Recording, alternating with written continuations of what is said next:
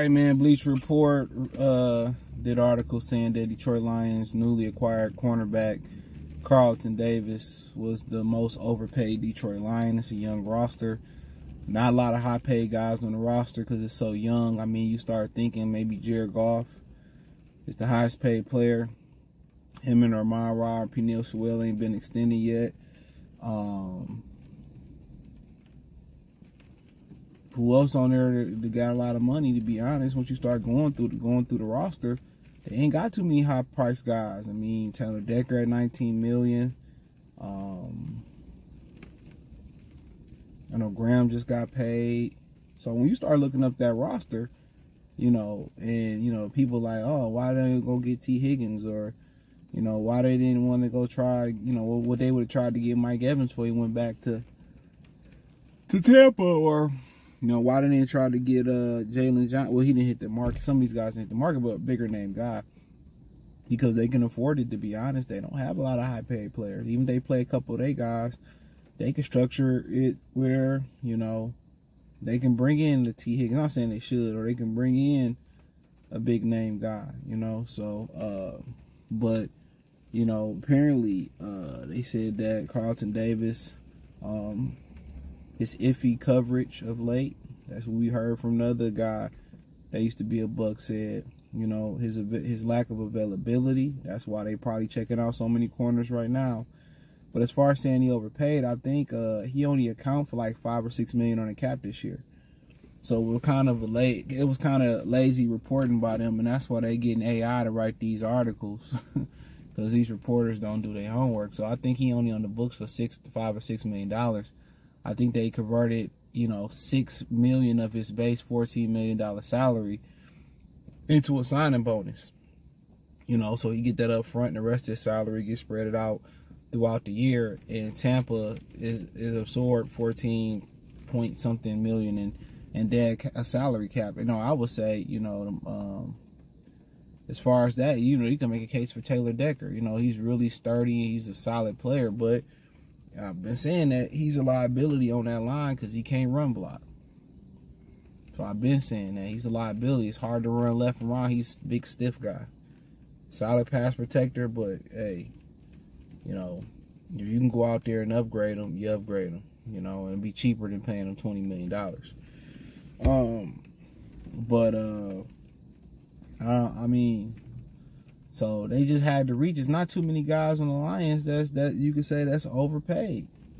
Cause they ain't really had to pay nobody. They they, you know, Matt Patricia or Clint Tricia, even before he got there, who was the GM? Martin Mayhew. They they were starting to get rid of a lot of guys, especially when Bob Quinn got here. They were starting to get rid of a lot of these guys. Once you started talking about uh once you started talking about uh Um,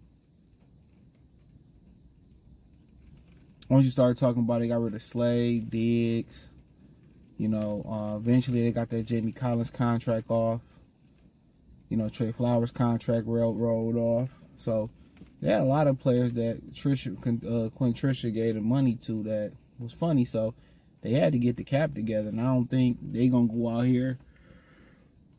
Excuse me and recklessly spend out here. I don't think that's going to be the case. I don't think you're going to see these guys recklessly spend that money out here um, at all this season. So um, I just don't see it happening. So um, and so be it. You know, that's that's their choice. That's their choice. You know. Um, but in my, my, humble opinion, I just think they just had to reach to find somebody and it was lazy reporting. That now he only on the on the on the on the on the books for six million and he ain't got an extension yet. So I don't know if they waiting or he got to prove it this year that he can stay healthy and be an extension. But they say it's lapses in coverage, and at the end of the day, hopefully he ain't got Cam Sutton rolling all over. But the difference is, you know, it'll be one and done if he don't perform in Detroit. And I think they preparing his replacement already, or his his his his, his partner in crime, his PIC, by drafting a cornerback at some point. It's a couple of them corners I was looking at that uh that was six four and above. You know, that's about six three, six four. Guy from Oregon. you know, they got some bigger corners out there. I mean, um, which you know, like I said before, you want to be able to, you know, reroute and, and you want to be able to go up and be physical with these, the you know, the bigger receivers, the Tee Higgins, and you know those type of guys. You know, if you're agile enough too to keep up, you know, the Justin Jeffersons, the Ja'Marr Chases, or whatever. So you know, it'd be interesting to see what kind of corner they they get to pair. I think the kid from Alabama not Kool Aid, but the other one is the best corner in the draft. They saying, and they got a good kid from Iowa State. You got Nate Wiggins from Clemson, which a lot of people shying away from him because he got injured at combine, but he's a smaller variety. But I think on turf, you love it. Him playing on turf, but you just run and wonder, you know, in run support, you know, can he help you out? But then, like I said before, that's why you know you got a Carlton Davis out there. You know what I'm saying? You know, you want a balance between the corners, in my opinion. You want them to be able to do everything, but you do need a corner that can run. You know what I'm saying? You know, one of them guys that can run. That's what you need. But uh I think it was a reachable article they said, but you know, Carlton Davis taking a lot of slander. I have never, I hadn't even heard him take any slander in Tampa. Uh, we played them. They just gave him hella props, and he played very well versus versus, you know, in that last game. And I don't remember him playing bad in the second game. But since he got to Detroit, it ain't been nothing but bad mouthing. And you know, at the end of the day, uh, that's how I be. You know, even if they trade you by wheel, or you you trade by your own wheel, or you move on your own wheel, they always gonna have something to say. So, hopefully, it's just motivating him. And obviously, he got a contract gonna do on the line too. So, you know, uh, he want to get paid. So hopefully, he come prepared and, you know, he work on durability, maybe you know getting putting a little bit more muscle on, changing his diet, maybe you know you know warming up or doing more more exercises for fluidity and all that. So um,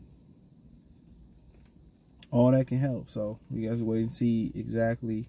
Um, wait and see exactly kind of where where it goes for him at, but it was a reach.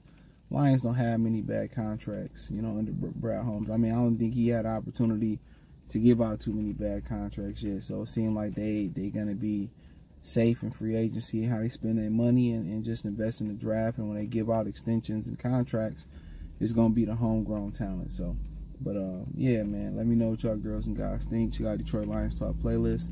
Thumbs up the video, share the video, subscribe to the channel, subscribe button is the bell icon button. Hit all notifications, increase your chance to get notifications. We go live or drop video. Financially, want to support the channel. Um, Cash App, dollar sign, CJ Good 313, Venmo, CJ Good 313, PayPal link in the description and the Linktree.